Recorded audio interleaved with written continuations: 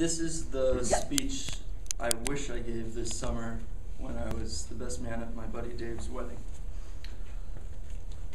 A few weeks ago, Dave and I had a phone conversation during which I asked, How's Ursula doing?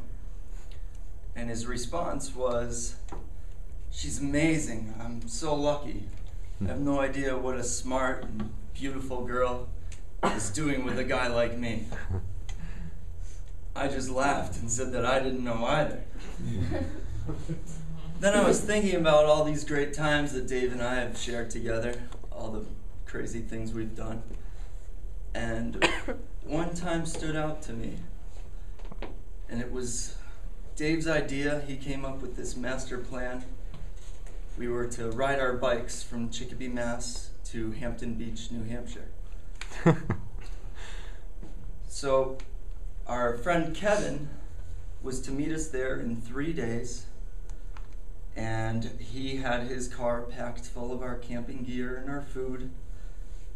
And Dave and I set out with plans to stay at two different houses across Massachusetts on the way there and have this trip take three days.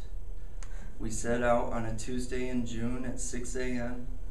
with backpacks, helmets, maps, one girl's mountain bike, one boy's mountain bike.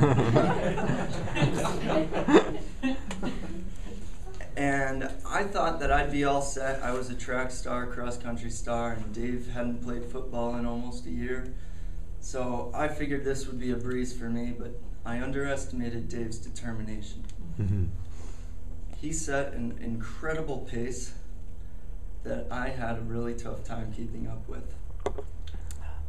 And I think that that's what Dave is misunder is underestimating in himself is his determination. When he sets out to do something, he gets it done. This year, when Dave wanted to get his PhD, he finished his PhD. When Dave wanted to become a professor, he became a professor. When he wanted to buy a house, he bought a house. And when he wanted to marry Ursula, well, here we are. So that bike trip took us 13 hours and 27 minutes.